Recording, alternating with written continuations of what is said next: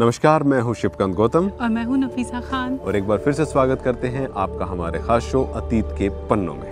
दोस्तों महाभारत का हर एक किरदार अपने आप में संपूर्ण है और महर्षि वेद व्यास ने हर एक किरदार को खास गुण दिया है। चाहे वो धर्म के ज्ञाता युधिष्ठिर हो महान धनुर्धर अर्जुन हो या हो दानवीर कर्ण। आज हम आपको कहानी सुनाएँगे दानवीर कर्ण की साथ ही बताएँगे कर्ण को तीर लगने के बाद मिले वरदान की कहानी। जी हाँ आपके दिमाग में ये सवाल कौन रहा होगा कि आखिर कर्ण को तीर लग चुके थे? उन्होंने पहले ही अपना स्वर्ण कवच, कुंडल सब दान दे दिया था। उसके बावजूद भी उन्होंने क्या दान किया? और मृत्युशैया पर लेटे हुए कर्ण को आखिर वो वरदान मिले कैसे? और उससे सबसे बड़ा सवाल ये भी था कि कर्ण का अंतिम संस्कार किसने किया? सूर्यपुत्र होने की वजह से कोई भी कर्ण का वध नहीं कर सकता था। इतना ही नहीं, कर्ण के जन्म के वक्त से ही वो कवच और कुंडलधारी थे। उनके पास एक ऐसा कवच था जिस पर कभी भी कोई भी वार नहीं हो सकता था, और ना ही कोई तीर उसे भेद सकता था। लेकिन युद्ध से ठीक पहले कुंती ने वो कवच और कुंडल कर्ण से मांग लिए। कर्ण इतने बड़े दानवीर थे कि एक बार भी नहीं सोचा और दान दे दिया। इतना ही नहीं, कर्ण ने यह भी कहा कि पांडव हमेशा पाँच रहेंगे। अगर अर्जुन की मौत हुई तो मैं पांडवों की तरफ़ आ जाऊँगा, और अगर मेरी मौत हुई तो भी पांडव पाँच रहेंगे। महाबली कर्ण एक प्राक्रमी योद्धा थे। उन्हें हर अस्त्र और शस्त्र का ज्ञान था। इसके साथ साथ महाबली कर्ण को दुनिया में या कहें कि आज के इतिहास में भी दानवीर कर्ण के नाम से जाना जाता है। इसकी भी बड़ी वजह रही थी। पांडवों के सामने महाभारत का युद्ध जीतने में सबसे बड़ा रोड़ा कर्ण थे, क्योंकि उनको मारना बहुत मुश्किल था। वो सूर्यपुत्र थे, जिसकी वजह से उन पर हथियार चलाना तो बहुत दूर की बात थी। उनके आसपास फटकना भी पांडवों के लिए बहुत मुश्किल हो रहा था। नियति ने तो कर्ण की मृत्यु तय कर रखी थी, लेकिन इसके पीछे पांडवों का छल भी बताया जाता है। जैसे धरती में कर्ण के रथ का पहिया धस जाना, ब्रह्मास्त्र का प्रयोग ना कर पाना भी कर्ण की मृत्यु का कारण बना। और मरते वक्त भी दानवीर कर्ण की परीक्षा भगवान कृष्ण ने किस प्रकार ली, इसकी भी एक विशेष कहानी है। दानवीर कर्ण जब आखिरी साँसें ले रहे थे, तब भगवान कृष्ण ने उनकी एक अंतिम परीक्षा लेनी चाहिए।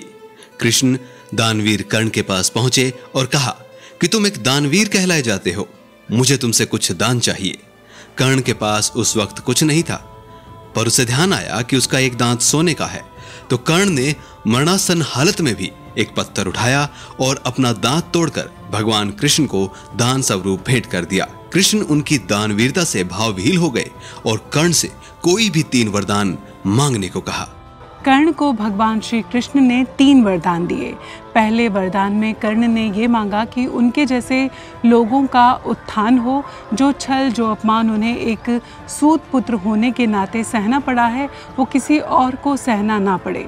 दूसरा वरदान उन्होंने ये मांगा कि वो अगले जन्म में किसी अवतार के रूप में श्री कृष्ण के राज्य में ही जन्म लें। और तीसरे वरदान में उन्होंने ये मांगा कि उनका अंतिम संस्कार ऐसी जगह पे हो जहाँ कोई भी पाप ना हुआ हो। जी हाँ कर्ण के अंतिम संस्कार को लेकर पांडव और कौरव दोनों आमने सामने आ चुके थे।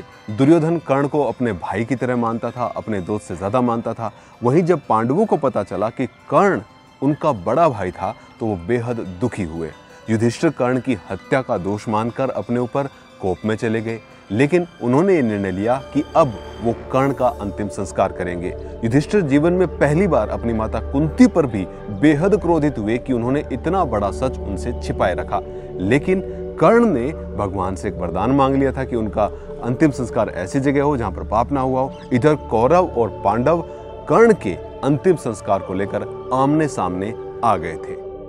आजीवन कर्ण के दोस्त रहे दुर्योधन ने कर्ण के पार्थिव शरीर पर अपना अधिकार जमाया और अंगराज कर्ण के अंतिम संस्कार को अपने हाथों से करने का निश्चय किया। लेकिन कर्ण का अंतिम संस्कार ना तो दुर्योधन कर सका, ना ही युधिष्ठिर कर सके, क्योंकि कर्ण ने अपने अंतिम संस्कार का वरदान स्वयं भगवान कृष्ण से मांगा था। मरते समय कर्ण को वरदान देते हुए भगवान श्री कृष्ण ने उसकी सारी बातें स्वीकार कर ली।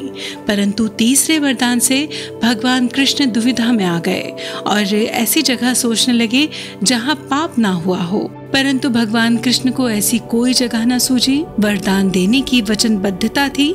इसीलिए कर्ण का अंतिम संस्कार भगवान कृष्ण ने अपने ही हाथों से अपनी हथेली पर किया और कर्ण को दिए वरदान को पूरा किया। इस तरीके से कर्ण को विष्णु अवतार कृष्ण द्वारा अंतिम संस्कार किए जाने के बाद बैंकुट धाम जो है, वो नसीब हुआ। आपको ये भी बता दें कि कौरवों की तरफ़ से लड़ने वाले सभी योद्धाओं में कर्ण एकमात्र ऐसे योद्धा थे जिनको बैंकुट धाम नसीब हुआ था।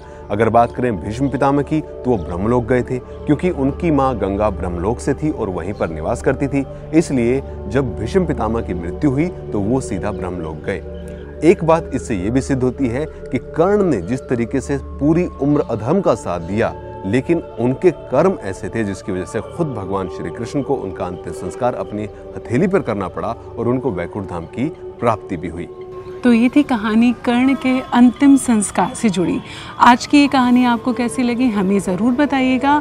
और अगर आपको आज का ये वीडियो पसंद आया हो तो इसे लाइक करें, शेयर करें और हमारे चैनल को भी सब्सक्राइब ज़रूर करें।